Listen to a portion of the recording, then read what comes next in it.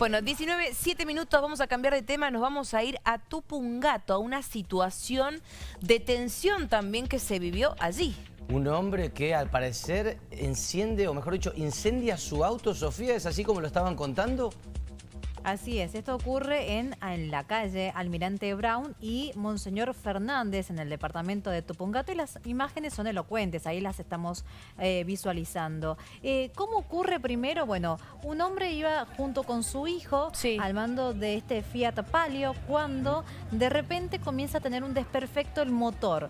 Todo indica que se comienza como a incendiar el motor y es allí cuando interviene eh, el personal de bomberos ahí se sofoca ese principio de incendio, pero después la policía le solicita la documentación al vehículo, al conductor del vehículo y tenía la licencia de conducir vencida y la tarjeta verde vencida. Esto generó una discusión entre las personas que estaban, o sea, los conductores, diríamos, los que iban en el vehículo, sí. con la policía.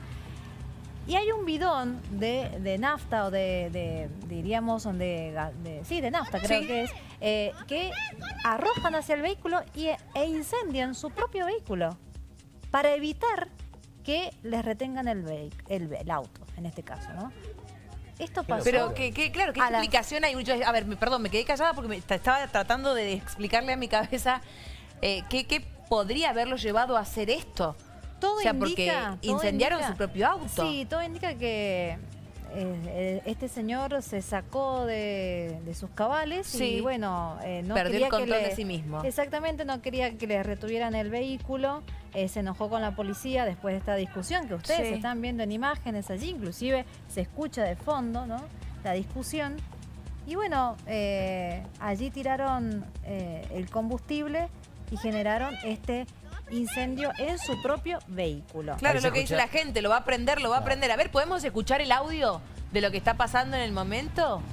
Bueno, esta justo es una parte de que está más lento. ¡Córranse! ¡Lo va a prender! ¡Córranse! Ahí dice, córranse, lo va a prender. Bueno, la información que nos llegaba también a través de nuestros colegas, los que primero recibieron este video, sí. o seguramente conjuntamente con vos, Sofía, Ay. es que el hombre tenía un problema personal y que probablemente eso haya incidido en la decisión que toma. A ver. Por supuesto es incomprensible.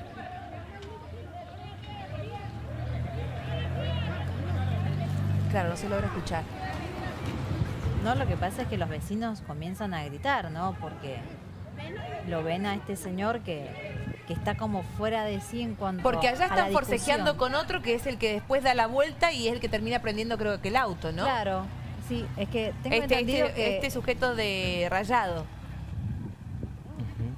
Sí, la verdad es que no logro identificar cuál es el padre y el hijo por la distancia del video, pero sí, eh, bueno, fueron Bueno. los protagonistas de este episodio que ocurrió en el departamento de Tupungato. La verdad es que... ¿No se sabe si están detenidos ambos? Sí, eh, quedaron aprendidos, eh, sobre todo el conductor Ah. del vehículo, porque no tenía justamente en regla la documentación eh, y posiblemente en las próximas horas puede llegar a ser imputado por resistencia a la autoridad. Así que bueno, estaremos atentos a lo que vaya sucediendo en el Valle de Uco.